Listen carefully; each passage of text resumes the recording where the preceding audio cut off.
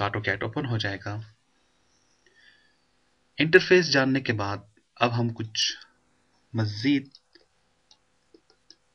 Tools का use करना सीखेंगे इस लेसन में। तो स्टार्ट करते हैं स्टूडेंट्स एक बात याद रखिएगा, जब भी हम कोई भी कमांड ऑटो कैट के अंदर एक्टिव करेंगे, हमारे पास कमांड लाइन के अंदर एक मैसेज आएगा। हमें उस मैसेज को केयरफुली स्टडी करना होगा। जब हम उस मैसेज को केयरफुली देख लेंगे स्टडी कर लेंगे, सोच लेंगे, समझ लेंगे तो ऑटो कैट को यूज़ करना हमारे लिए बहुत बहुत आसान हो जाएगा इजी हो जाएगा। तो मैं अपने लेसन का स्टार्ट करता हूँ एक लाइन से। आज हम देखते हैं एक लाइन को कैसे लगाया जाएगा, इसको ब्रेक कैसे किया जाएगा सिलेक्शन कैसे की जाएँगी, और जूमिंग कंट्रोल कैसे यूज़ किए जाते हैं ऑटो कैड के अंदर। तो स्टूडेंट्स जैसे मैं अपने माउस को एक लाइन के ऊपर लेकर जा रहा हूँ। मैसेज मेरे पास आ गया, लाइन। लेकिन आप अपने पास नीचे कमांड विंडो को देखें। यहाँ पर स्टिल क्या है? कमांड तो जैसे ही मैं लाइन के ऊपर एक क्लिक कर देता हूँ, मेरे पास मैसेज क्या आ रहा है? कहते हैं प्लीज़ बताओ, मेरी लाइन का फ़र्स्ट पॉइंट किधर है? आपके पास एक ब्लैक एरिया है। आप जिस जगह पर भी क्लिक करेंगे, आपकी लाइन का वो फ़र्स्ट पॉइंट होगा स्टार्टिंग पॉइंट होगा। तो मैं इसे एक क्लिक इधर कर देता हूँ। जैसे मैंने इसको क्लिक किया स्टूडेंट्स आप माउस को आगे लेकर जाएँ। आपके पास लाइन आगे जा रही है। आप माउस को जिस तरफ़ लेकर जाएँ लाइन आपके पास उस तरफ़ घूम रही है। लेकिन अगर आप गौर करें स्टूडेंट्स आपके पास, जैसे जैसे मैं लाइन को मूव कर रहा हूँ, कुछ वैल्यूज़ चेंज होती हुई नज़र आ रही हैं। एक तरफ़ आपके पास एंगल नज़र आ रहा है, दूसरी तरफ़ आपके पास उसकी लेंथ दिखाई दे रही है, और तीसरे मैसेज में वो आपसे नेक्स्ट पॉइंट कह रहा है।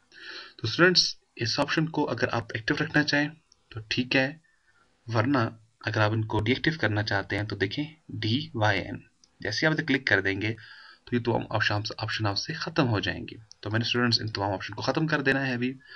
अब एक और ऑप्शन मेरे पास पोलर पोलर ट्रैकिंग क्या कर रही है? बेसिकली जैसे भी लाइन आगे लेकर जाता हूँ तो मेरे पास कुछ हेल्पिंग आ जाता है, लेकिन हेल्प्स आ जाती है, इनको हम आगे जाकर देखेंगे। अभी मैं इसको भी ऑफ़ कर देता हूँ। तो स्टूडेंट्स जैसे मेरे पास ये लाइन आ गई। अब मैं इसको जिधर जिधर क्लिक करने जाऊँगा उधर उधर ये क्लिक हो जाएगी।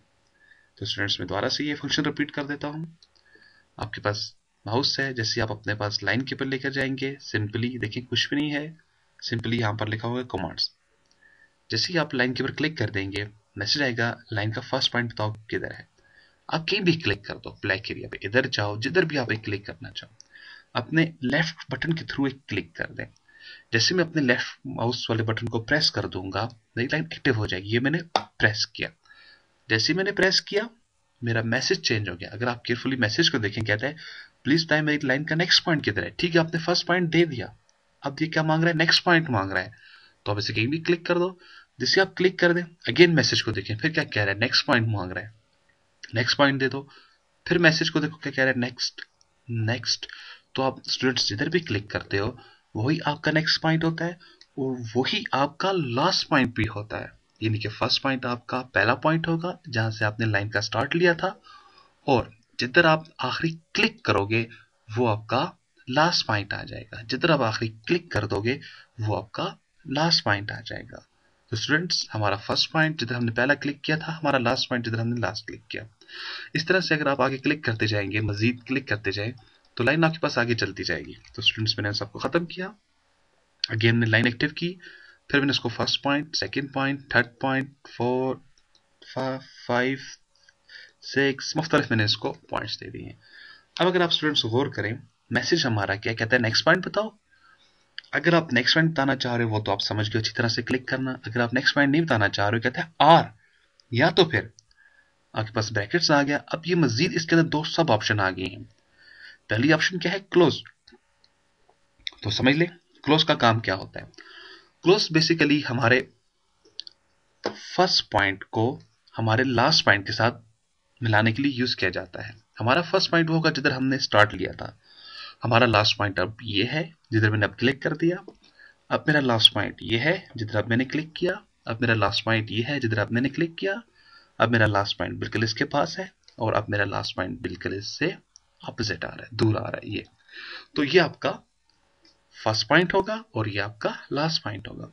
जैसे स्टूडेंट्स ने क्लोज को अप्लाई करूँगा ऑटोमेटिकली लाइन मेरी बंद हो जाएगी। अब प्रॉब्लम ये है, जो चीज़ें ब्रैकेट्स के अंदर होंगी, उनको अप्लाई कैसे किया जाएगा? तो जान ले, जो भी वर्ड ब्रैकेट्स के अंदर होगा, वो आपके पास कोई ना कोई कमांड होगी, कोई ना कोई ऑप्शन होगी। उस कमांड को एक्टिव करने के लिए उस कमांड का कैपिटल लेटर प्रेस किया जाएगा।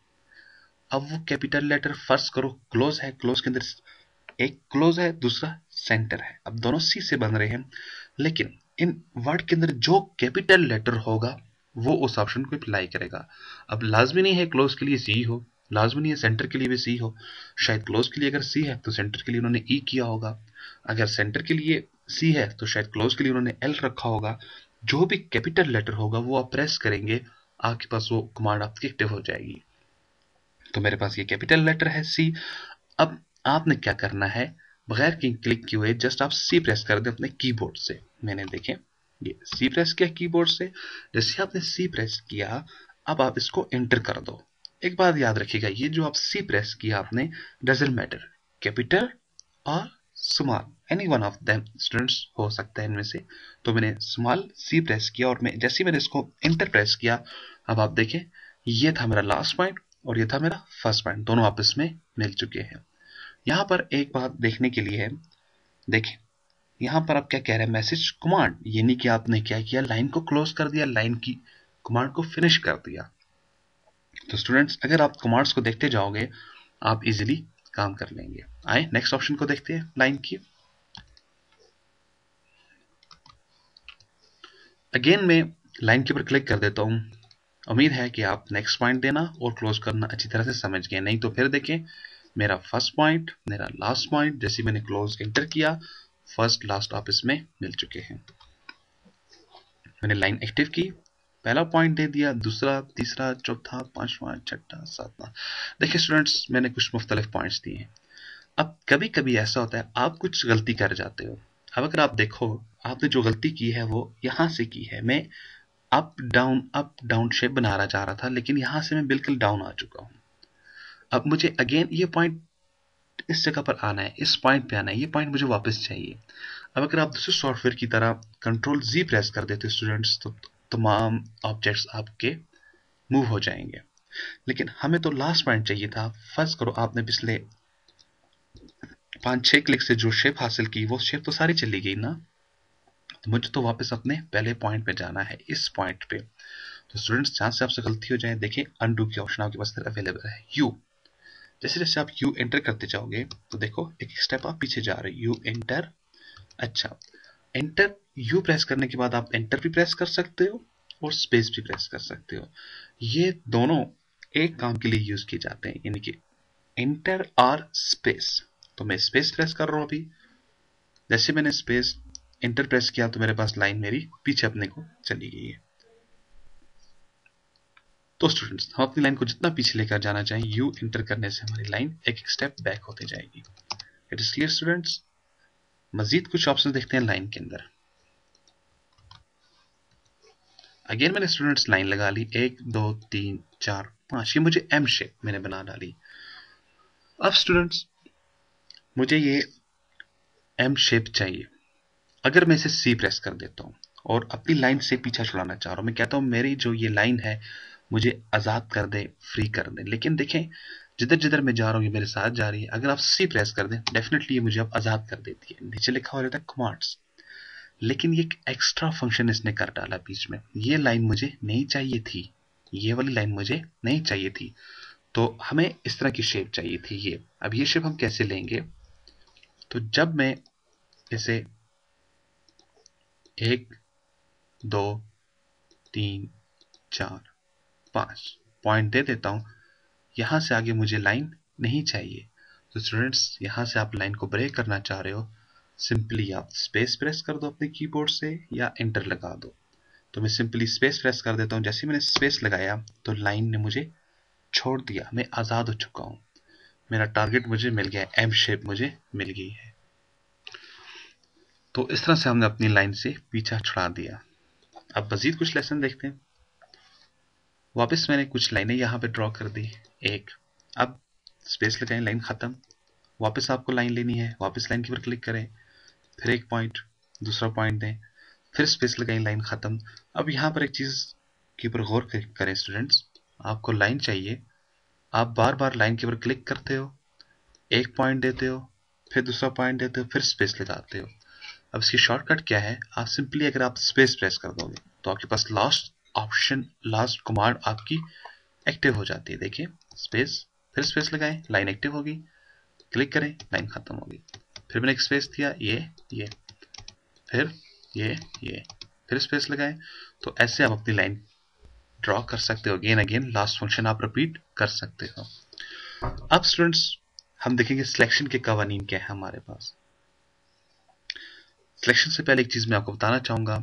बाजुकात हम काम कर रहे होते हैं, हमें एक लाइन को बिल्कुल सीधा ड्रॉ करना होता है। अब अगर मैं ट्राई करूँ स्टूडेंट्स लाइन को सीधा लगाने की अब इसे एक पॉइंट दो और मैं अगर इसे देखूँ देखूँ, शायद शायद शायद, लेकिन मैं देखिए इसको एक की टाइम पे इसको सीधा कर नहीं पा रहा हूँ। मुझे ये परफेक्ट सीधी चाहिए लाइन तो इसके लिए स्टूडेंट्स नॉर्मल रूटीन में क्या होता है? आप लोग, आपको अगर मैं बोलूँ कॉपी पे सीधी लाइन लगाओ तो आप अपने स्केल की मदद से लगा लोगे। अब ऑटो कैट के अंदर आप कैसे सीधी लाइन लगाओगे? तो इसके लिए आपके पास एक कमांड बटन है, एक कमांड है आर्थो आपके पास ये है आर्थो आप इसके ऊपर क्लिक कर दो। जैसे आप इसके ऊपर क्लिक कर दोगे तो आपके पास आर्थो एक्टिव हो जाएगा लाइन आपकी सीधी कर देगा। लेकिन स्टूडेंट्स अगर आप शॉर्टकट्स के ऊपर काम करेंगे, आप ज़्यादा फास्ट काम कर सकते हो। तो मैं मशा यही दूँगा आपको आर्थो के ऊपर क्लिक करने की बजाय आप F8 प्रेस कर दो कीबोर्ड से। जैसे आप F8 प्रेस करेंगे, आपके पास एक मैसेज आएगा तो मैंने ये F8 प्रेस किया। जैसे मैंने F8 प्रेस किया अर्थो ऑन। जब अर्थो ऑन होगी, आपकी लाइन बिल्कुल सीधी आ रही है। देखो, क्लिक क्लिक, वापस F8 प्रेस कर दो। अब आपकी लाइन अगेन टेढ़ी मेढ़ी हो रही है। ये देखें ये नहीं कि F8 से आपकी लाइन सीधी और F8 से ही आपकी लाइन टेढ़ी। तो स्टूडेंट्स एफ़ शॉर्टकट्स लगाना सीखें पहले दिन से ही। तो ये मैंने अपनी लाइन को सीधा कर डाला। वापस मुझे लाइन आगे नहीं लेकर जानी है। स्पेस लगा दें। आपने अपनी लाइन को ख़त्म कर डाला। इसी तरह नेक्स्ट जो हमारा लेसन है, वो हम सिलेक्शन के कवानीन के बारे में देखेंगे। हम ऑटो कैट के अंदर सिलेक्शन कैसे करेंगे। तो सिलेक्शन करने के लिए मुख्तलिफ़ तरीक़ेकार हैं। Method number one control A mean select all इसका मतलब होता है, जितना भी आपके पास पेज के अंदर मटीरियल है, या इस फ़ाइल के अंदर जितनी भी आपके पास मटीरियल है, वो सारे का सारा सिलेक्ट हो जाए। तो स्टूडेंट सिलेक्शन के लिए आप simply control plus A press करें सिलेक्ट ऑल हो जाएगा। जब कोई चीज़ सिलेक्ट हो जाए, आप सिंपली रेजर के ऊपर क्लिक कर दें, वो तमाम चीज़ें आपके पास रेज हो जाएँगी। उम्मीद है स्टूडेंट्स आपको इस लेसन में बहुत कुछ नया सीखने के लिए मिला होगा। नेक्स्ट लेसन में हम लोग देखेंगे सिलेक्शन और जूमिंग का क्या तरीक़ेकार है